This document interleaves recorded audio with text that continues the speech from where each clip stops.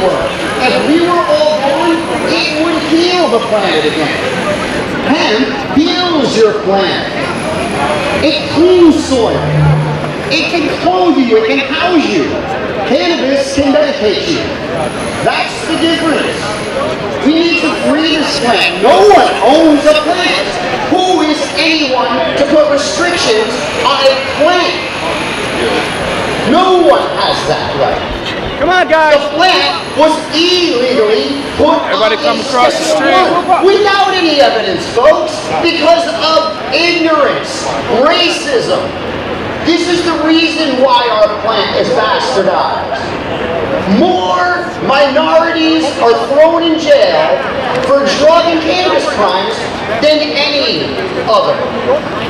Whites, whites don't feel the oh. effects of that as much. So a lot of us do not understand it. But there are tons of minorities that do.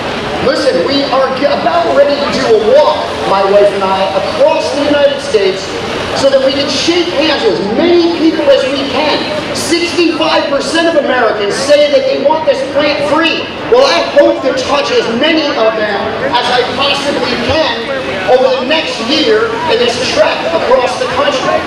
It's just a show and form of solidarity. I don't care if you represent normal. I don't care if you, what group it is you represent. We all want the same thing. We want this plant free and we want every human being that's behind bars set back out streets, free where they belong, and, and, and everything abolished from their records. This is ridiculous that we do this. We definitely all need to have accountability. My gosh, this plant can't free itself. We have to do this.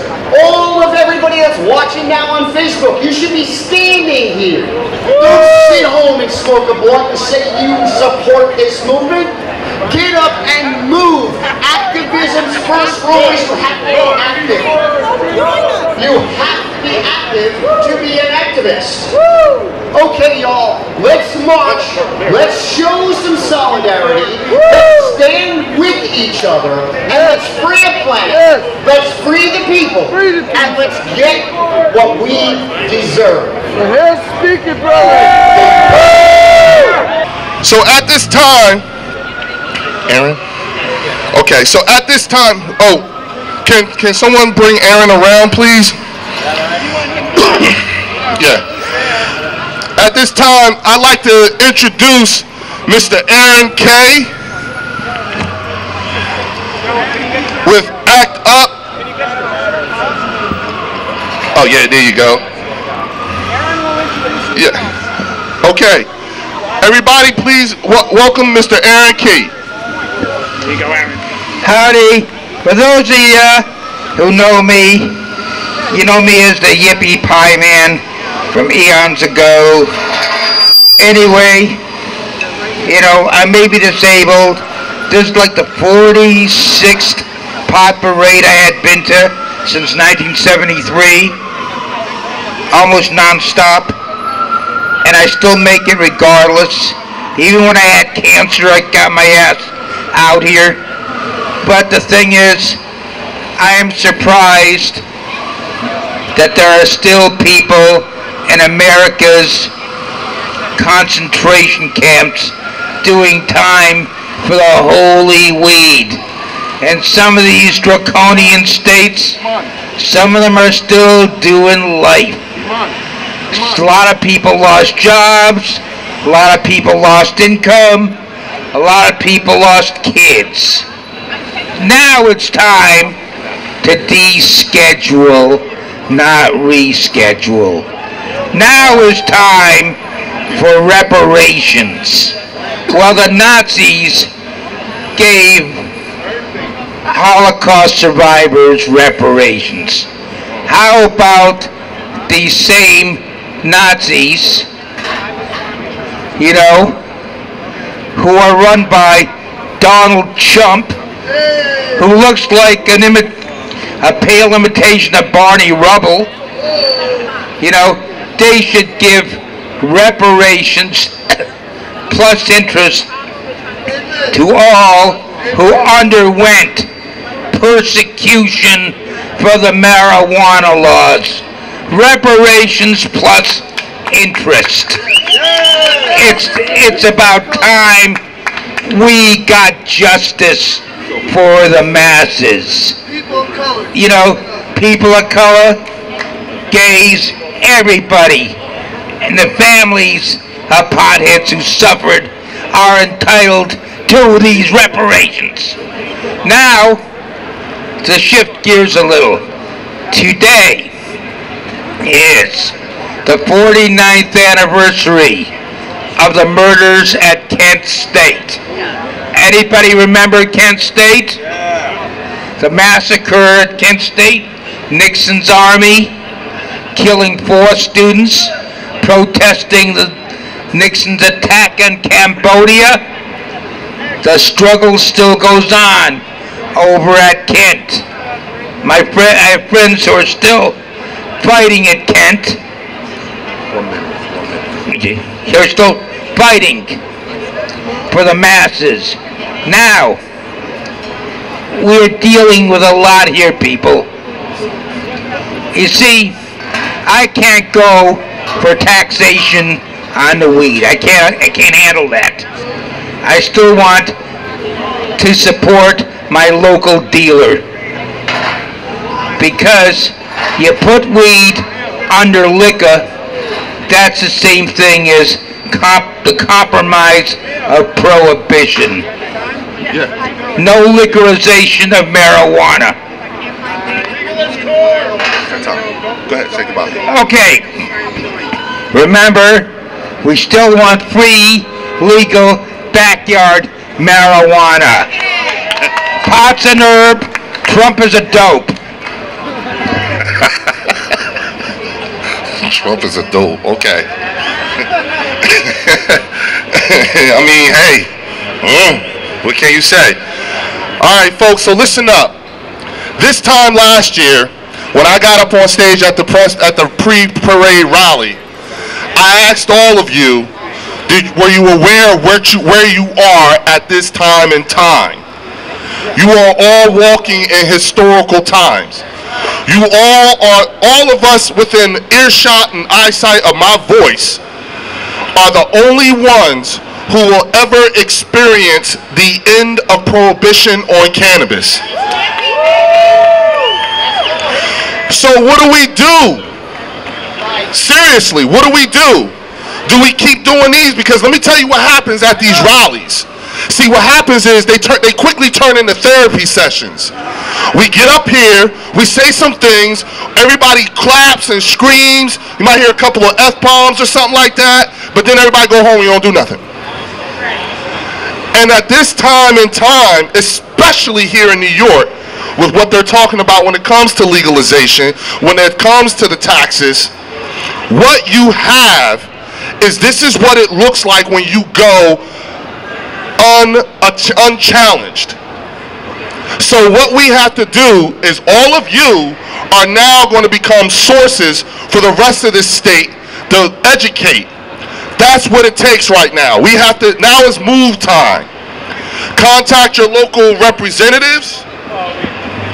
Hold on, I got it. I got it. Yeah, here, yeah, that's what I was looking for. Okay, so you're going to want to call, you can call Governor Cuomo's office, area code 518-474-8390. You can call Senate Leader Stewart-Cousins at 518-455-2585. You can call Assembly Speaker Heastie at 518-455-3791. Tell them you support marijuana justice for the state of New York. Tell them you support marijuana justice and reform for your neighbor. Tell them you support marijuana justice and reform for yourselves.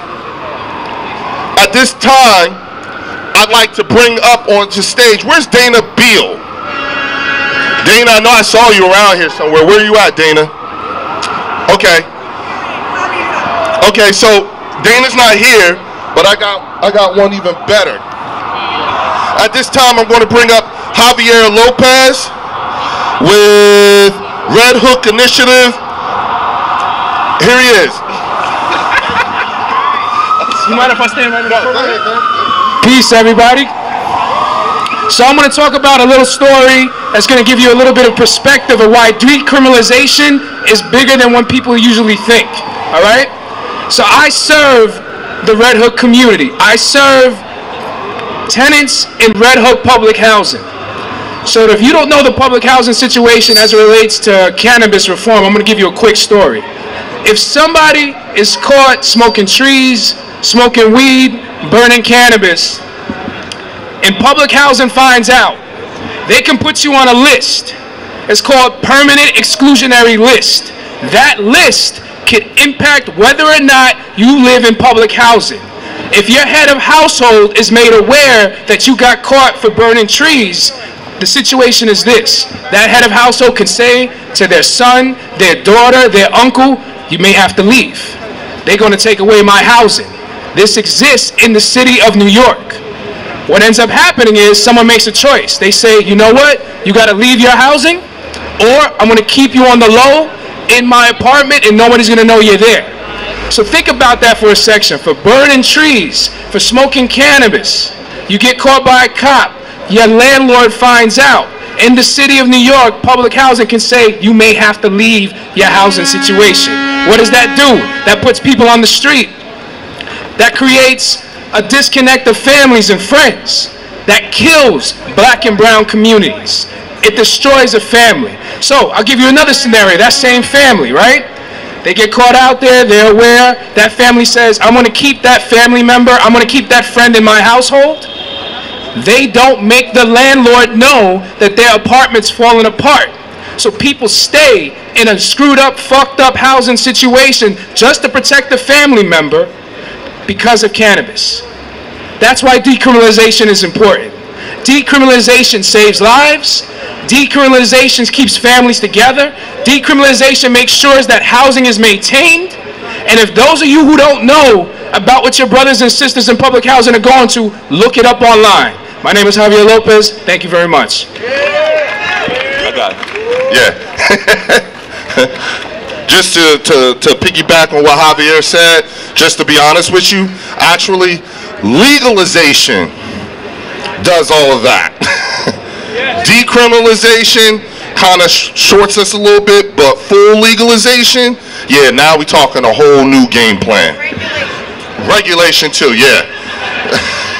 so at this time, I'd like to bring up Miss Imani Dawson, CEO of CEASE, which is Cannabis Education Advocacy Symposium Expo. It's a nonprofit organization dedicated to expanding access to cannabis and the cannabis industry through education and advocacy. She's also the community director for Minorities for Medical Marijuana, which you see right here on my shirt. At this time, I'm bringing up Miss Imani Dawson. I will. I'll do that. Thank you so much. I want to say happy Cannabis Parade Day to everybody here. It's amazing to see you come out and support legalization and support the power of the plant. And I'm here because I too am passionate about legalization, but it has to happen in a certain way. So I want to tell you a little bit about my story. Who here is a hip hop head? Do you listen to hip hop growing up? So I grew up in the Just Say No era. I was told that weed was the, that was the pathway to hell, and that if you started smoking, that crack was soon after. And it wasn't until hip hop artists started talking about weed in a cool way and made it accessible. Okay, I've been told I need to rise. Hello. It wasn't until people like Dr. Dre and Snoop and Biggie started talking about it that I really explored what it meant and what it really its potential and whether or not it was dangerous. And that's when i learned that it wasn't. And i'm here because those people came out of communities that have been disproportionately impacted by the war on drugs. If you grew up in a brooklyn if you grew up in south central la you know that we were unfairly targeted and that there was unequal enforcement. And those communities were devastated by prohibition and they deserve a seat at the table too.